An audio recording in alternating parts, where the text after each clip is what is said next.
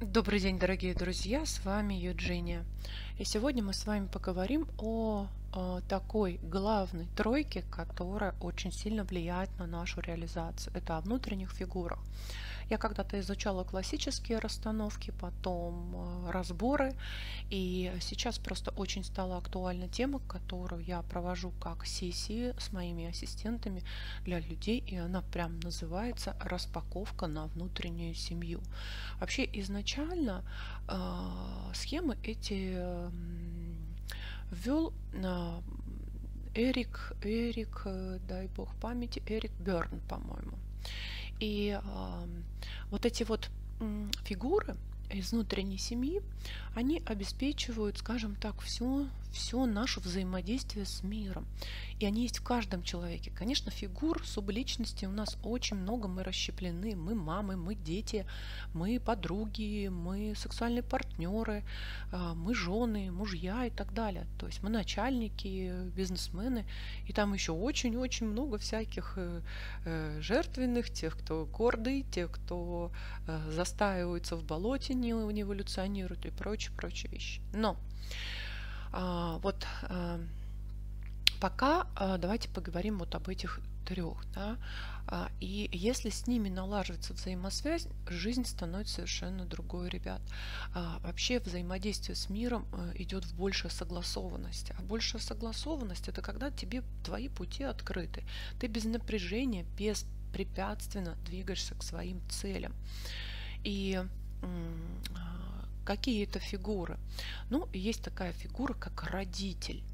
И вот э, а, что такое родитель? Это контролер, это то, что называется нельзя, э, бессовестный, э, брось, не трогай, поставлю в угол, отдам дяде. То есть это все, что мы то есть это все правила.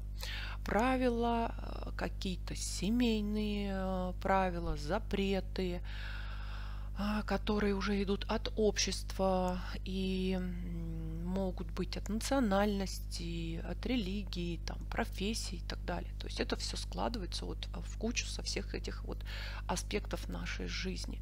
И фигура вот такого родителя, она тоже бывает разная.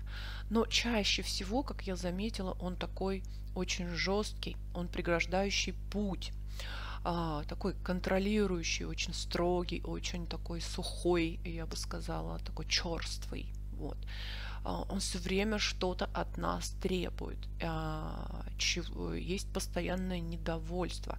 Крайне редко можно встретить ощущение там, поддерживания, одобрения, а, но этого почти не бывает такого. Чаще всего мы как-то вот со смешанными вариантами, но все равно даже одобрение и поддержка, они такой маленький имеют процент. Но это часть нашей личности – которая как бы пыта, э, помогает нам в социализации.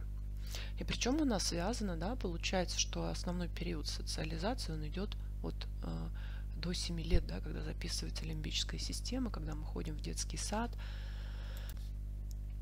Как это э, выражается. Это та самая критика, когда вы сами себе все запрещаете, когда вы недовольны, когда вы должны быть вот тем, ты недостойна, ты вот этот, и ты себя наказываешь. Вот так. Это вы же сами. Да?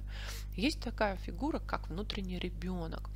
То есть это наши хотелки, это наша искра, это я хочу туда, я хочу путешествовать, я хочу вот это. То есть и, конечно, ребенок тоже бывает разный. Вот недавно на сессии у нас э, был ребенок, который такой капризный, бывает э, ребенок бунтующий, но бывает радостный, да, и бывает такой ребенок, который саботирует все вокруг, отрицает, то есть и э, э, бывает тот, кто мягкий, то есть легко адаптируется, или за любовь готовый пойти на все.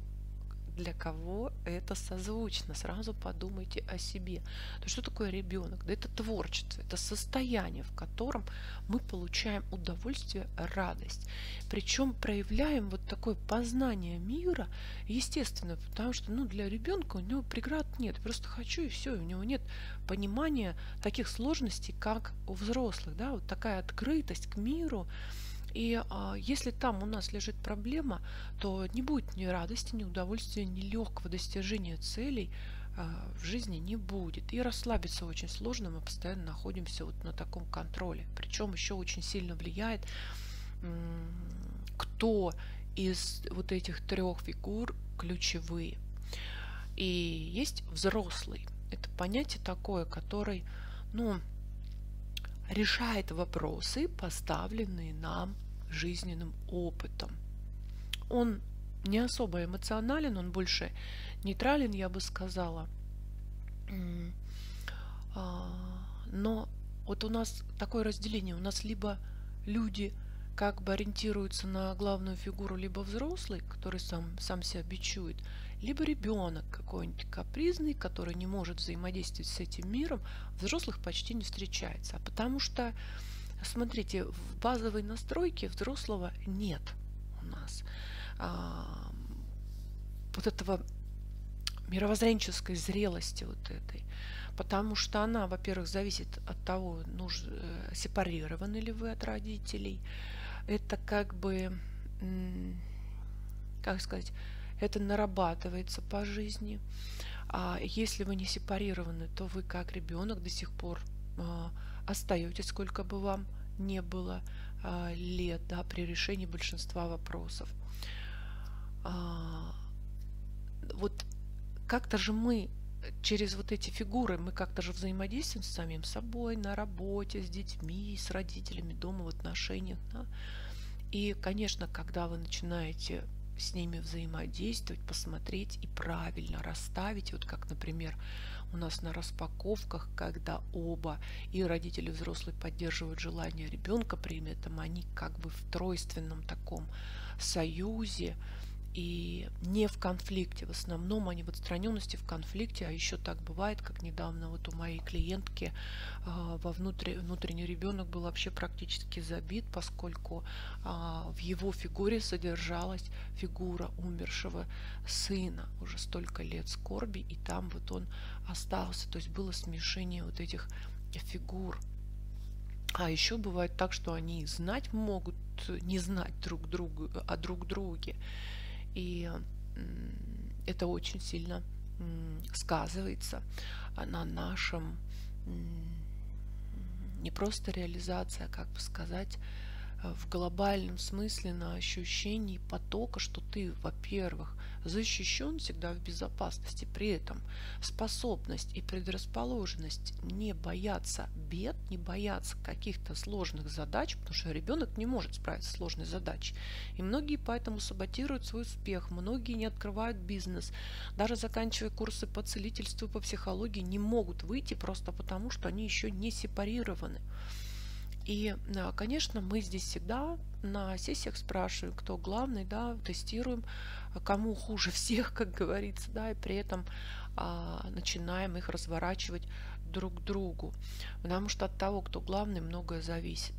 Но если ребенок, как я сказала, да, то при нагрузке мы не справляемся с нагрузкой, да, впадаем в какое-то детство, все, я ничего не могу. Отсюда рождаются жертвы. Вот. А естественно, как следствие, ну, понимаете, что с физическим телом происходит. То есть, потому что ребенок, он всегда будет сваливать от ответственности любыми способами, которые он только сможет это сделать. Прокрастинировать в том числе, лениться. То есть как, э, поддаваться каким-то сиюминутным импульсам, мошенникам. То есть ну, невзвешенные решения будет принимать. Ну, для ребенка всегда мир – это обуза, это напряжение серьезное. Если главным становится взрослый, то он ощущает ответственность и чувство способности а, справляться самостоятельно, принимать решение. То есть, понимаете, вот эта взрослость, вот эта вот взрослость, это не значит стать серьезным. Нет. Это просто способность движения, путь быть автономным, ни от чего не зависеть. Но ведь для многих это вообще связано с каким-то вот тяжелой ношей. Ну и родитель это постоянно свое себя оскорбляем, унижаем, обесцениваем, а, как-то себя в какие-то загоняем в жесткие рамки, причем до очень жестких а, категорий, я бы сказала. Типа направляем себя на путь истины. Но самый главный вместе с ними это, конечно, вы, да, и здесь нужно расставлять такие приоритеты –